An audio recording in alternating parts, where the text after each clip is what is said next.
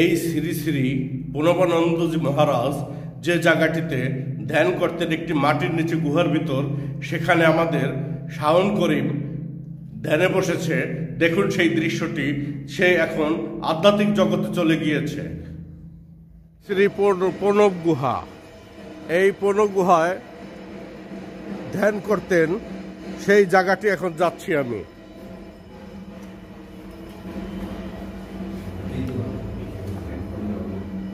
এই গুহায় ধ্যান করতেন।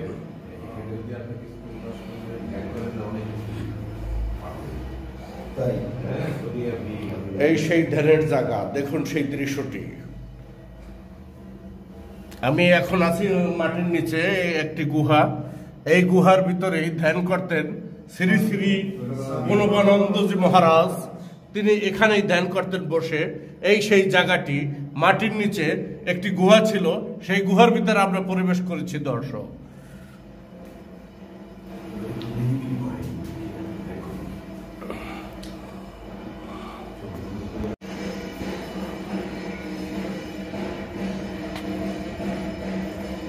ধ্যান করতেন। হ্যাঁ? জি? চলো চলো। দর্শক, এই শ্রী শ্রী প্রণবানন্দজি মহারাজ যে জায়গাটিতে ধ্যান করতেন একটি মাটির নিচে গুহার ভিতর, সেখানে আমাদের শাওন করিম ধ্যানে বসেছে। দেখুন সেই দৃশ্যটি, সে এখন আধ্যাত্মিক জগতে চলে গিয়েছে।